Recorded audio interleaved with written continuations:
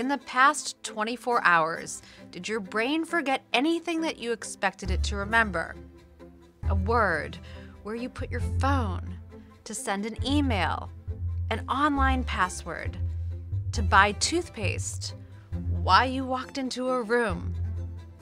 In each of these moments, how did you feel? Worried? Afraid? Embarrassed? Ashamed? Did you judge yourself? Did your inner voice say something like, Ugh, I have such a terrible memory? I'm betting many of you carry this false belief that memory is supposed to be perfect, that we're supposed to remember everything. And so when you forget anything, you think it's a sign of weakness, aging, or maybe even the beginning of Alzheimer's. You think, something must be wrong with me. But here's what I want you to know our brains are not designed to remember people's names, to do something later, or to catalog everything we encounter. These imperfections are simply the factory settings.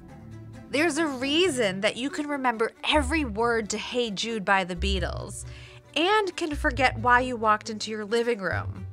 Or that you can still remember the Hamlet soliloquy you memorized in 10th grade, but forget what your spouse told you five minutes ago. I want to help you develop a healthier relationship with your memory.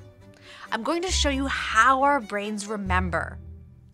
You'll learn tools and hacks to strengthen memory creation and retrieval, and tips to improve your brain health at any age.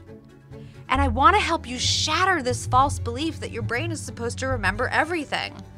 You'll learn why we forget and that most of what we forget every day is actually a normal part of being human.